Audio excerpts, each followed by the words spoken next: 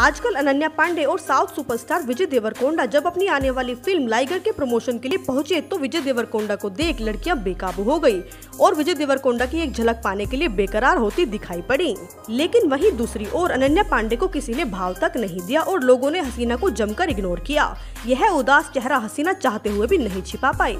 दोस्तों, आपको बता दें, साउथ इंडस्ट्री के बेहद dashing and charming actor Vijay Deverakonda अपनी फ़िल्म लाइगर के ज़रिए बॉलीवुड में डेब्यू कर पैर जमाने की तमाम कोशिश करते नज़र आ रहे हैं। फ़िल्म लाइगर में विजय के साथ अनन्या पांडे लीड रोल में नज़र आएँगी। फ़िल्म की शूटिंग लगभग पूरी हो चुकी है। तो इसीलिए एक्टर्स पूरी शिद्दत से फ़िल्म का प्रमोशन कर रहे हैं। लाइगर का प्रमोशन मुंबई या नॉर्थ इंडिया में ही नहीं, बल्कि साउथ इंडिया में भी धड़ल्ले से जारी है। तो इसी सिलसिले में जब विजय एंड अनन्या एक इवेंट में पहुँचे तो दोनों को फूलों की भारी भरकम माला पहनाकर वेलकम किया गया।